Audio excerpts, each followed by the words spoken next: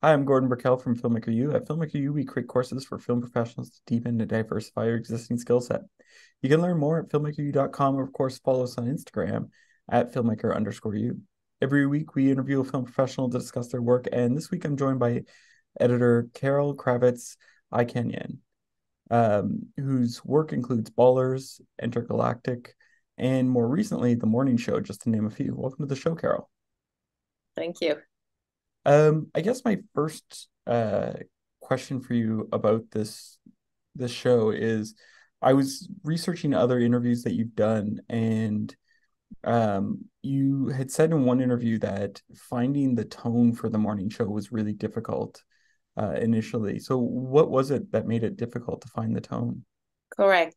Um it's a show that is along the line of drama and comedy and when you have shows like that where you have to honor the comedy, but at the same time stick um, honest to the characters and the story that are pretty dramatic, um, it's a it's a very fine line to find. Um, so the actors give you so much range uh, of comedy, of great humor that they find in the middle, but all that has to be very thoughtfully chosen because if you go towards comedy too much, mm-hmm. then you miss the the drama and the reality of a moment. At the same time, in our world, even in the most dramatic moments, there is humor. That's mm-hmm. how life is, and humor can be also very tragic.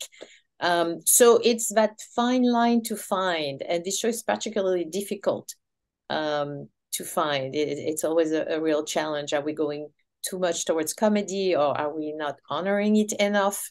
Um, mm-hmm. And it, it also it, it finding the right tone musically is also you know it, it goes down the line to everything how it's shot what angles we use um, what music we play um, so that tone that tone is always a bit of a challenge which is interesting like i because i think when i first saw the trailers for the morning show it has a lot of iconic comedic people and people who have great comedic timing. So do you almost have to pull back the comedy when you're you're cutting do you find? Yes you have to be careful. It, it's not it's not consistently pulling back. Mm-hmm. it's actually finding the right comedic moment. Because sometimes they're too big um, but you know, because there's humor and cynicism sort of mixed together in the show, and you want to honor the comedy because it's mm-hmm. it's a great pleasure to see them. They are just amazing actors, but you just got to be careful how far you go with it, um, how big it is, how mm-hmm. often, you know. And so, in the same way that their their work as actors have uh, this incredible range of comedy we as editors we have to find also the right timing for the comedy mm-hmm. to pop and not confuse or take away from the main story. But you're right. The the cast is amazing. And there are really i mean they are really amazing amazing moments to choose from. Yeah. And sometimes it's hard. Sometimes it's uh it takes a while. We always find it. Yeah. or we feel like we do but it always takes a while. So with such an amazing cast like how do you uh, assess the rushes then? Like how do you because you get this basically smorgasbord of amazing deliveries i'm sure. Like what are the rushes like when they come in? How do you determine which one to use my motto really for this show is honesty and grounding the performances. So um they I, I have to be as honest as possible within the situation.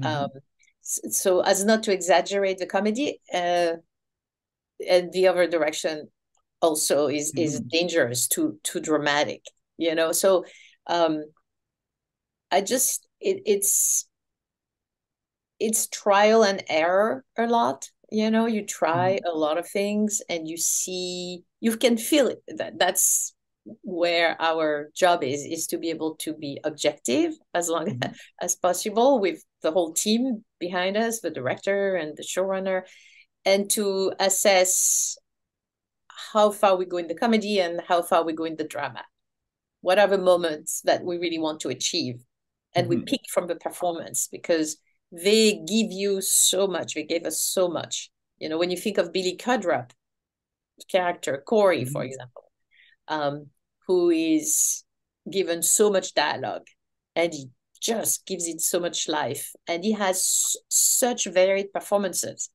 Um, i remember there is a scene where he is confronted in the last episode of the morning show of this season 3 mm-hmm. he's confronted by uh, paul and he's lost the battle and he's got like incredible like incredible dialogue.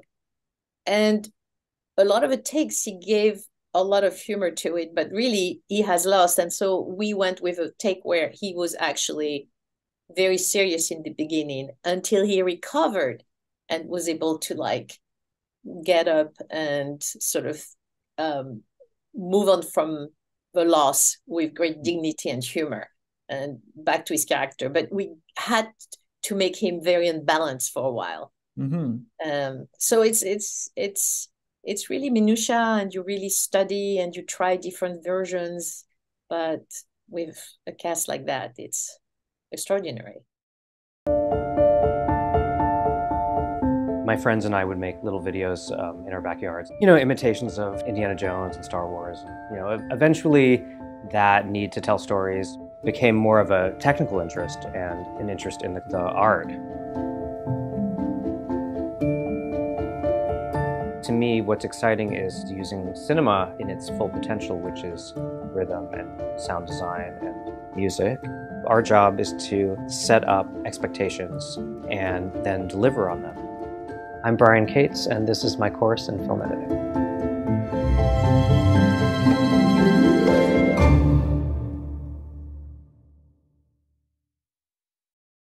Well, what's what's interesting, the, like the other thing I was going to ask you is, you basically this season jumps two years in the future. It's um, so how do you how did you balance sort of keeping the audience oriented and keeping them moving forward, but still paying homage to past yeah uh, the past year and keeping people aware of what's happened. Yeah, that that was definitely a challenge um, because we needed to reorient the audience we brought new themes and some new mystery. But when you bring a new mystery, you one of the challenge was not to let the audience think that it's something that they they were aware of from season 2 mm-hmm. For example, um, when Corey um, convinces Bradley at the airport when she comes, you know, to go in, to go into the rocket instead of um, instead of Alex Levy. Mm. There is a sense that there is a mystery because he tells her, "You owe me something," mm-hmm. and it's episode one of season three, two years later. So, as an audience, I think automatically you think this is something I know that happened in season two, but actually it is not. It is something that has happened in between. Mm-hmm. So as editors, and storytellers in the cutting room, we're confronted to the question is it going to be confusing for the audience?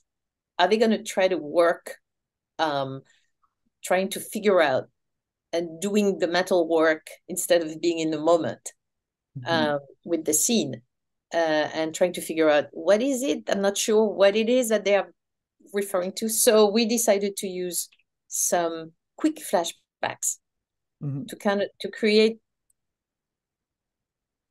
a moment that told the audience that it is something else. It's not about their past romance. It's not about something from season two. It's something else, something new that is still a mystery and that will unfold as the season goes. Um, so yes, it is very much uh, challenging. So were the flashbacks sort of something that was created in the edit- editing suites, or was that something yeah. that was in the script? No, no, it wasn't in the script. This Oh, is something that we came up with. It's it's those things are very hard to tell in the script form.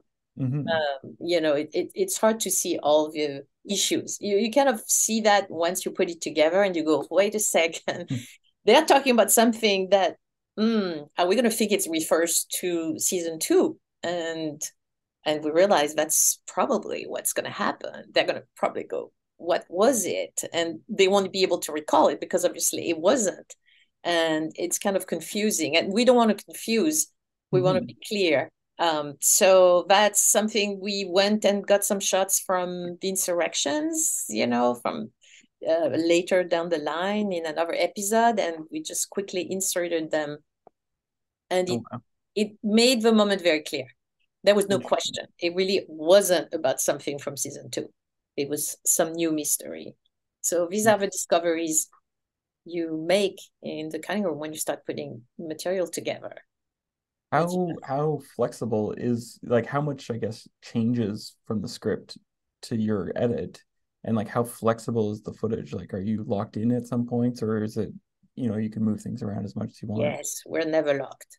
We're never locked into anything. If we can find, if there are issues that have to be solved, Mhm. or if we can make it better, we can move things around. That's what's beautiful and creative. That's what I love about about the work. Is it we're not just transferring the script, you know, to the with the visuals. We are actually rethinking and continuing the writing with what exists we take some lines out, we move scenes around, we cheat things. Uh, um, you know, we we really work not just on putting the scene together, Mhm. but on really re-examining everything that has been written to see if it plays, if it works, if there's maybe a better way to do it, where the tension is greater, or the humor is better, or the mystery Mm. is better. So it's constantly working not just on the performances, but on the episode, on the whole season.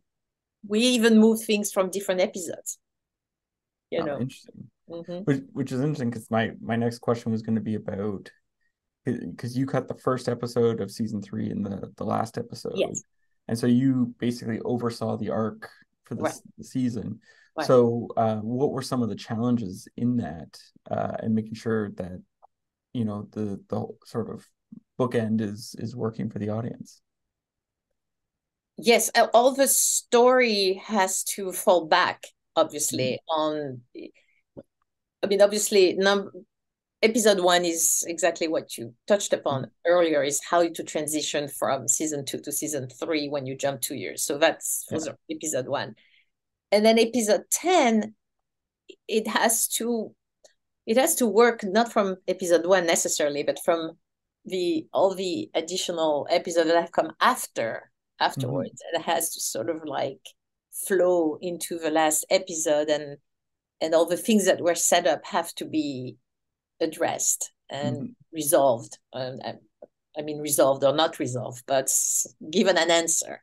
Mhm. And uh, so, yes, you just have to keep track uh, as an editor of not just your episode. You can't cut it. I can cut episode 10 without really understanding what happens in two, three, four, five, Yeah. six, seven, eight, nine. Um, otherwise, I'm doing a different show. Um, Yeah. Because But it cut to the address. finale you cut with another person, right? Yes, yes, So- with Plummy Tucker. Yes. How did you guys split up the work? Um, well, that's that was the first time that Plummy and I worked together. And so we sort of because the sh the show is very ambitious, and episode Mhm. one had a rocket, uh, you know. So it took us a very long time to really finish episode one. So, and then I was also doing episode six that also co-edited with Andrew Gus. And so what happened is that we're on so many episodes, so many episodes were still open at the same time that we had to collaborate on 10. And so we there was not really a we sort of went the way we improvised a little bit because we were very busy with other episodes. So she started um, putting it together and then I would go on and we would discuss, you know, what we saw together. Then I did a pass, and then she did another pass. So we sort of built upon each other. Um, uh, the show, the episode. Uh, that's pretty much how we did it. But I have to say, it was it was sort of who was available when mm-hmm. you know, and then we would work ourselves, you know, to to the finish. Interesting. Yeah. Now I have one last question for you. Mm-hmm. What would you say is your favorite guilty pleasure film or TV show to watch? Oh, um, well, this year I've certainly enjoyed Beef. Uh, this, I, I guess it's that very interesting again fine line between humor and drama mm-hmm. right it's yeah. very dramatic but it's incredibly funny and i think that they really mastered that tone perfectly perfectly you know um, yeah. and i think that that was quite successful but also i have to say that i'm an academy member now and i vote into i vote for the foreign films and mm-hmm. that's my guilty pleasure right now because i get to watch all of these foreign um, films and it's just amazing it's so inspiring. You know, I just watched something, uh, the Tunisian entry last night yeah. uh, for the Academy Awards, and it is so amazing. It's called Four Daughters. Just amazing okay. blend of documentary and and sort of fiction together. Very very mm-hmm. creative, incredibly moving. So I watch a lot of things. well, thank you so much for letting me interview. You're very welcome. Thank you so much. And that's it for this week, everyone. Make sure to check us out at filmmakeru.com and, of course, on Instagram at filmmaker underscore U. I'm Gordon Burkell. Thanks for watching.